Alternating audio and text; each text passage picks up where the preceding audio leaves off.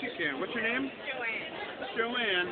Uh, what are you doing out with us and all these other creeps like me? I'm doing a fan until I come back, okay? Really? That's really nice to hear. This is a pretty good one. I'm kind of proud of it. I'm going to say that I love you right here, but I don't mean to take it too personal. Me too. You were amazing in Chaplin, by the way. Chaplin was the, the, the best movie ever. I love. I still watch that movie. I love it. Very nice to hear. Very. How am I going to reach over there?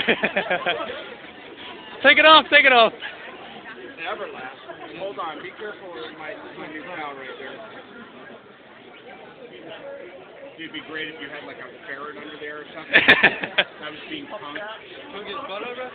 I think what I'm gonna do is go to work over here and uh dude, I'm gonna panic. You got the shirt signed, now you do that. That's what I'm